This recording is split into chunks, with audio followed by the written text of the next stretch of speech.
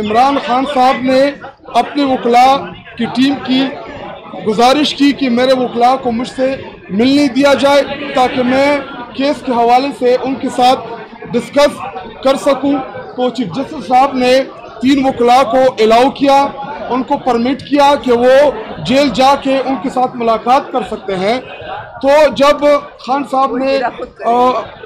حارث کی ڈیمانڈ کی ایڈوکیٹ حارث کی تو عطر من صاحب نے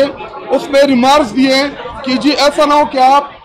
جیل چلے جائیں اور آپ کو ادھر ڈیٹین کر لیں، ادھر آپ کو رکھ لیں۔ تو جسٹس صاحب بھی مسکرا اٹھے، اس ایشو اس بات کے اوپر اور اور اس کے اس کے اس کے علاوہ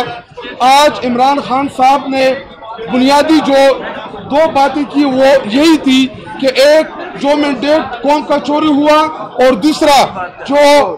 اس ملک میں اس ریاست نے جو ظلم اور جبر کیا اس کے خلاف انہوں نے بات کی۔ شکریہ